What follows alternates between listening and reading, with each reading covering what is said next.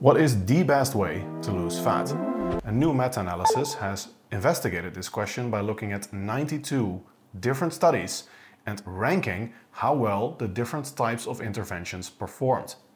Without further ado, here is the ranking for body fat percentage loss, which is I think most important. The ranking was very similar for total body fat loss measured in kilograms and for all outcomes combined. In this image you can see that energy restriction by far is key. You need to lower energy intake, makes perfect sense in terms of thermodynamics, to lose fat. You don't technically have to be in energy deficit to lose fat, but it is much easier and much more guaranteed. Because the body has to get rid of some energy, it has to burn some of your tissues to get rid of that. And if you're lucky, it will burn adipose tissue, namely fat mass, rather than your heart or muscle tissue.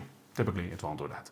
So, at the very top of the hierarchy, we have energy restriction plus high protein diet plus exercise. It resulted in the greatest reduction in body fat percentage. And that seems to be basically the holy trinity of fat loss you need to perform some type of exercise, you need to have a high protein diet, and you need to restrict your energy intake. Now, as for the type of exercise, interestingly, we actually see, and I think this is going to be in contrast to what many people think intuitively, although many of my long-term subscribers should not see this as a big surprise, resistance training, meaning weight training or strength training, was more effective than aerobic training. You can see this in the ranking both with energy restriction and without energy restriction resistance training is higher in the hierarchy than aerobic training. It's not a huge difference, but it's consistent in all measurements and with and without energy restriction. This finding is actually consistent with an earlier 2015 meta-analysis of the literature, which also looked at a broader age range of individuals, although it didn't have as many studies as the current one and they found that resistance training was more effective than aerobic training to lose fat, again, and also more effective than a combination of aerobic and strength training. In the hierarchy of this current meta-analysis, mixed training is higher, at least without energy restriction, than uh, resistance training. And that's probably because they didn't control for volume and the earlier meta-analysis also looked at the duration of the interventions.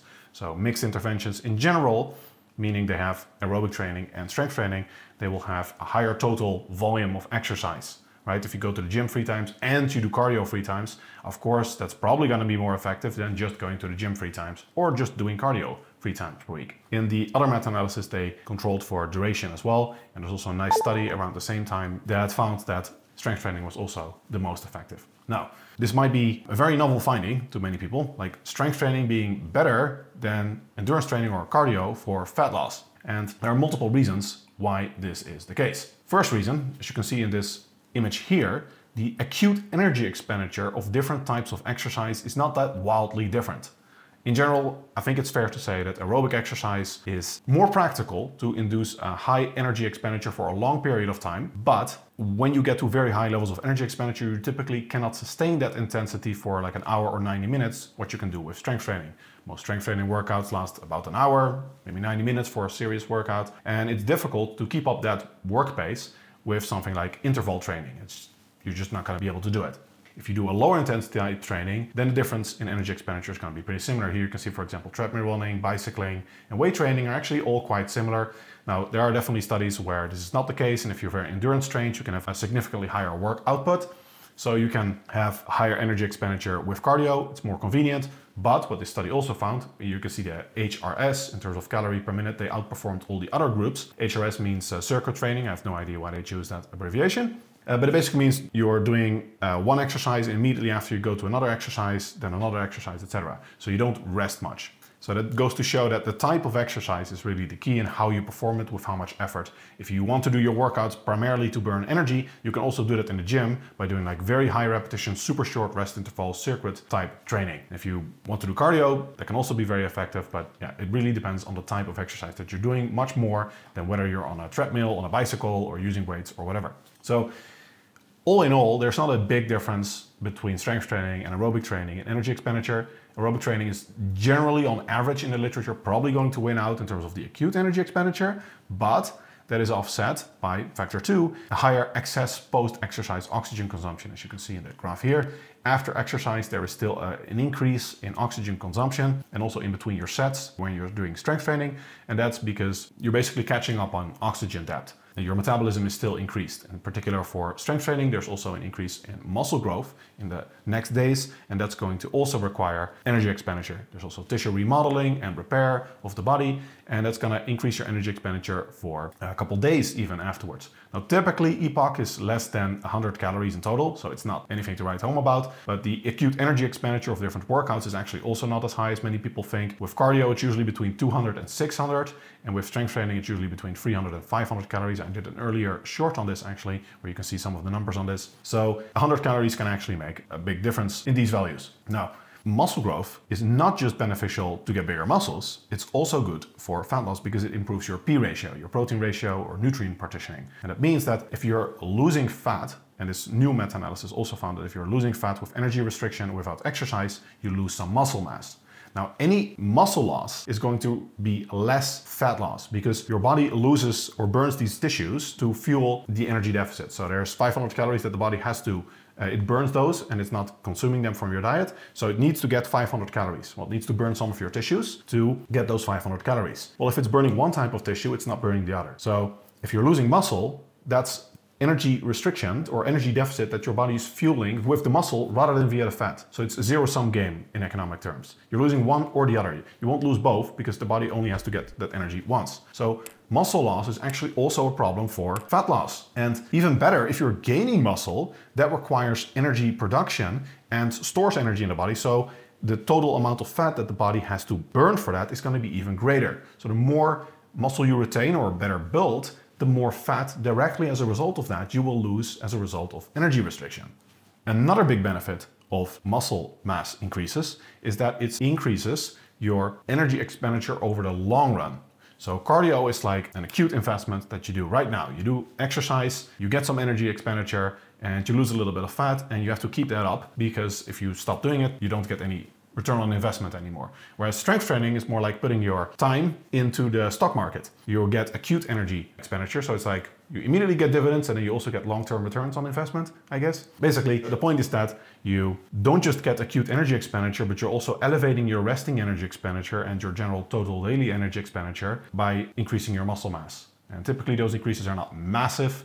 We see 5% increases quite readily when people take up strength training. And then when you get to differences between like bodybuilder versus sedentary individual, we see differences in even resting energy expenditure of like 20%, which is very substantial. That basically means that if you don't change your diet at all, but you gain a whole lot of muscle, you're gonna be in a 20% deficit. So you're very much gonna be shredded if you don't change your energy intake. So in the long run, that certainly plays a big role. And it's also worth noting that while some studies find that the contribution of muscle mass to your resting energy expenditure is rather small, that is because they're measuring sedentary energy expenditure. And another factor that people should consider is that your total daily energy expenditure is going to be increased more because you're also basically just lumping around additional body mass. So the more muscle you have, that's extra mass, extra tissue that you're carrying around, and especially when it's contracting and it's active, it's going to be increasing your energy expenditure. But even if you're not using it at all, you have to carry it around the whole day and that also burns some extra calories. So getting jacked is actually like a long-term investment into your total daily energy expenditure, which makes it easier to get into an energy deficit. Now, I think for most of my long-term subscribers, all of this so far is relatively straightforward, but there are two things that I think are a little bit more contentious and novel, namely resistance training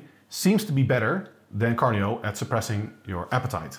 Some research finds this for appetite-related hormone reductions or increases, depending on which hormone you look at, and also reductions in ad libitum energy intake. So a workout in general does not increase your appetite or change your appetite. This is another topic in itself, but most of the literature does not find effects of exercising on total energy intake, meaning that energy expenditure from exercise creates a free deficit because the body doesn't intuitively compensate for this. Unlike with dieting, which creates an energy deficit, but then you also get hungrier. So it's more difficult. And that's why exercise is so beneficial for fat loss when you combine it with energy restriction, because again, energy restriction is the number one thing that you have to do.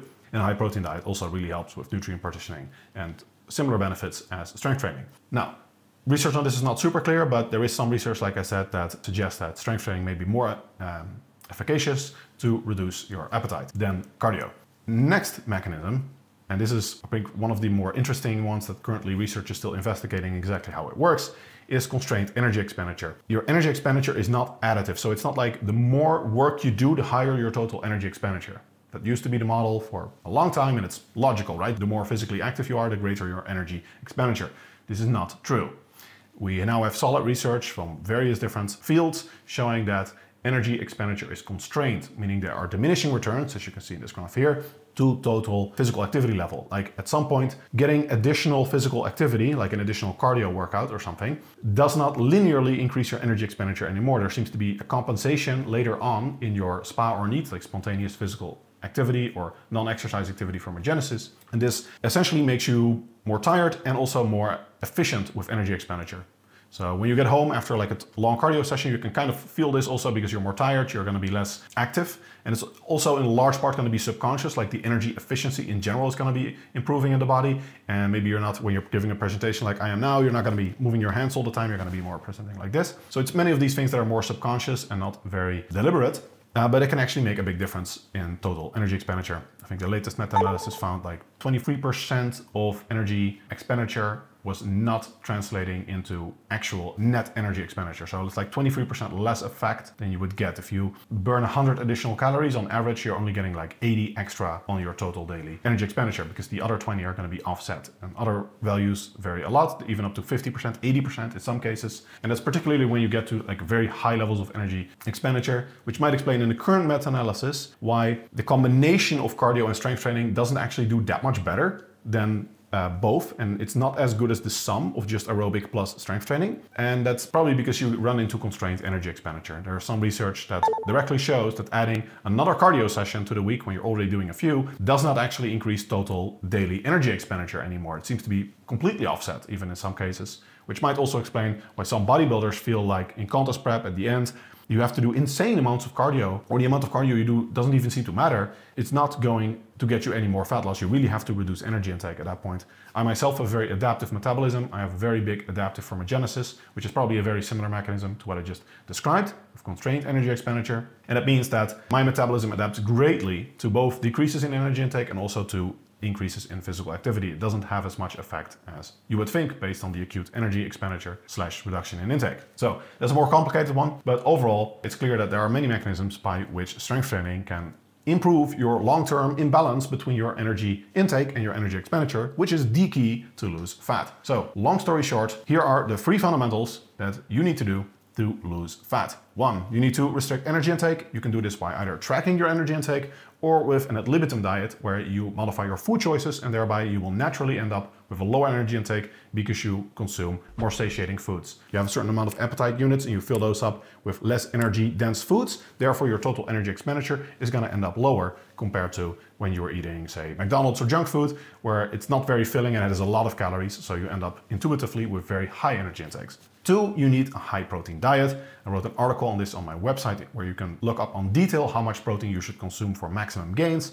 But the long story short is that the latest meta-analysis to which I was a co-author, you can see the results here, found that the break-off point is about 1.6 gram per kilogram per day, which is, I believe, 0.72 gram per pound per day. And I recommend 1.8 gram per kilogram per day, which is 0.82 gram per pound of total body weight, total protein intake per day. After that point, we don't see any further increases in muscle growth or strength development. And you can have higher protein intakes, but there's really no point anymore. Now, number three, cardio is beneficial only if you're already maxing out your strength training. Before that point, I mean, cardio is still beneficial, but strength training is more optimal. Like you're gonna get more return on investment per minute of exercise with strength training than with cardio. And that I think is probably the most interesting finding of the current meta-analysis. Again, it confirms strength training is actually not just better for muscle growth, but also better for fat loss in the long run because of the aforementioned mechanisms. All right, I hope that helps you get to your desired body fat percentage. If you want more of this type of content, I'd be honored if you like and subscribe.